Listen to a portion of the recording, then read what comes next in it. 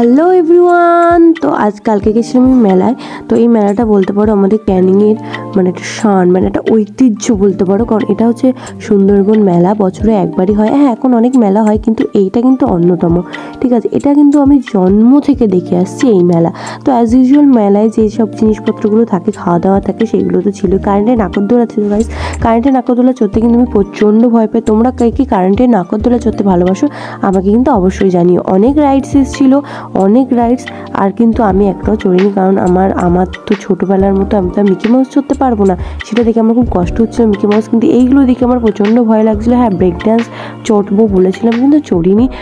তো যাই হোক, এইসব আমি চড় চড়া রিস্ক নিতে পারব না। এই যে মিকি মাউসটা দেখলে, এটা আমি এখন চড়তে পারব না। উঠলেই আমাকে পেটন দেবে। তো যাই হোক মেলায় টেলায় মেলায় ঘুরে প্রচণ্ড ঠান্ডা পড়েছিল, কিছু খাইনি। হ্যাঁ একটা জিনিস খেয়েছিলাম।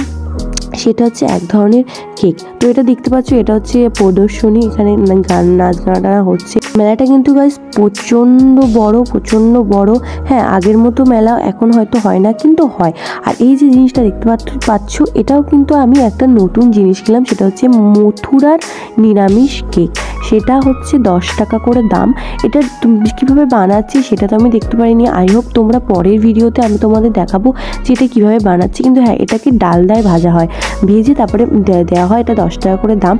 একটা কথা বলতে পারি যে এটা খেয়ে আমার খুব লেগে লাগেনি, খুব খারাপও লাগেনি নর্মাল লেগেছে। কারণ এটা হালকা মিষ্টি আছে, হালকা না, ভালোই মিষ্টি আছে।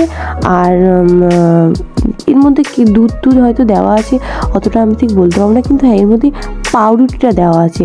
পাউরুটি মানে নরমের জন্য ভিতরটা অনেকটা সফট ছিল, তো নরমের জন্য অবভিয়াসলি দুধ দেওয়া থাকবে। আর এটা হচ্ছে ফেমাস বনগার পাঁপড়। এটাও আমি ছোটোবেলা থেকে দেখে আসছি যে এরা পাঁপড় এদের কাছ থেকে পাঁপড়টা সবাই নেয়।